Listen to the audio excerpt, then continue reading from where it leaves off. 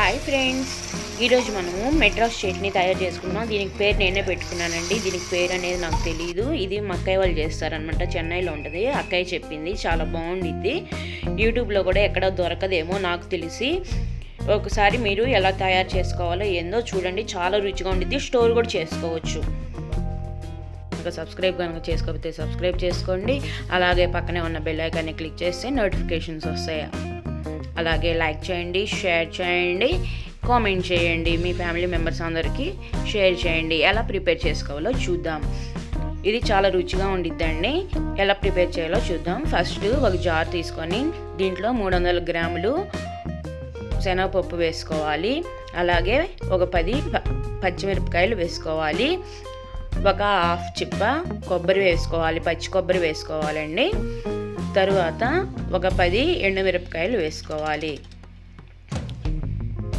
తరువాత దీంట్లో ఒక రెండు టేబుల్ స్పూన్స్ కారం వేసుకోవాలి. నేను స్టోర్ చేసుకోవడానికి వేసుకుంటున్నానండి. తర్వాత కల్లుప్పు వేసుకోవాలి. సరిపడినంత కల్లుప్పు వేసుకోండి. ఒక హాఫ్ స్పూన్ దాకా జీలకర్ర వేసుకోవాలి. వేసుకొని చింతపండు నేను ముందుగా నానబెట్టుకున్నాను. ఒక నూట యాభై గ్రాములు అంటే రెండు నిమ్మకాయ సైజు అంతా చింతపండుని నానబెట్టుకోవాలి. దాన్ని వేసుకుంటున్నాను. దీన్ని గ్రైండ్ చేసుకోవాలి ఫస్ట్. ఇది ఫస్ట్ స్టెప్ అనమాట ఇవి ఉల్లిపాయలు నేను కట్ చేసి పెట్టుకున్నాను. ఇది గ్రైండ్ చేసుకున్న తర్వాత వేసుకోవాలి. తర్వాత చూపిస్తాను దాని ప్రాసెస్ ముందైతే మనము దాన్ని గ్రైండ్ పట్టుకోవాలి. దీన్ని గ్రైండ్ చేసుకొని వస్తాను. ఇది చాలా రుచిగా ఉండిద్దండి. ఏడు మనం ఏడు రోజుల దాకా స్టోర్ చేసుకోవచ్చు. మా అక్కయ్య వాళ్ళు చెన్నైలో ఉంటారనమాట తను చెప్పింది. అప్పటి నుంచి మేము చేసుకున్నాం చాలా మాకు ఇష్టం అనమాట బాగా చేసుకుంటాం మేము. చాలా బాగుండిద్ది. ఇడ్లీకి దోశలోకి చపాతీలోకి అన్నిట్లో బాగుండిద్ది. ఇట్లా గ్రైండ్ చేసుకున్న తర్వాత దీంట్లో మనము మూడు ఆనియన్స్ పెద్దవి ఇట్లా కట్ చేసుకొని వేసుకోవాలి. దీంట్లో కొంచెం నీళ్ళు వేసేసుకొని తర్వాత మళ్ళీ గ్రైండ్ చేసుకోవాలి. బాగా మెత్తగా పేస్ట్ లాగా చేసుకోవాలన్నమాట. అంతేనండి మనకి మెడ్రాస్ చట్నీ అనేది రెడీ అయిపోయింది. చూడండి నేను ఇట్లా గట్టిగా వేసుకున్నాను. ఇట్లా గట్టిగా వేసుకో ఎందుకు వేసుకున్నానంటే స్టోర్ చేసుకోవడానికి వేసుకున్నాను అనమాట ఇట్లా ఒక బాక్స్లోకి ఒక టైట్గా ఉండే కంటైనర్లో మనం తీసుకోవాలి. తీసుకొని ఎటువంటి నీళ్ళు కానీ ఏం పడకుండా గట్టిగా మూత పెట్టుకోవాలన్నమాట. నేను గట్టిగా ఉండేదంతా స్టోర్ చేసుకుంటున్నాను. ఇది ఒక సెవెన్ డేస్ కాదు టెన్ డేస్ అయినా ఉంటుంది. తర్వాత దీన్ని ఫ్రిడ్జ్లో పెట్టేసుకోండి. మనకు కావాల్సినప్పుడల్లా ఇట్లా కొంచెం గిన్నెలోకి తీసుకొని కొంచెం వాటర్ కలుపుకోండి.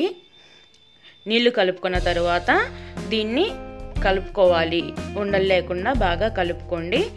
కలుపుకున్న తర్వాత దీన్ని మనం పోపు పెట్టుకొని ఇడ్లీలోకి దోశల్లోకి పొంగల్లోకి అన్నిట్లోకి తినొచ్చు. చాలా చాలా రుచిగా ఉండిద్దండి. మీరు ట్రై చేసి చూడండి. ఎలా ఉందో కామెంట్ సెక్షన్లో మాత్రం మర్చిపోకుండా కామెంట్ చేయండి. ఈ చట్నీ కనుక మీరు టేస్ట్ చేస్తే అన్నిట్లోకి ఈ చట్నీనే చేసుకొని తింటారు. తర్వాత ఇట్లా ఒక బాండి పెట్టుకొని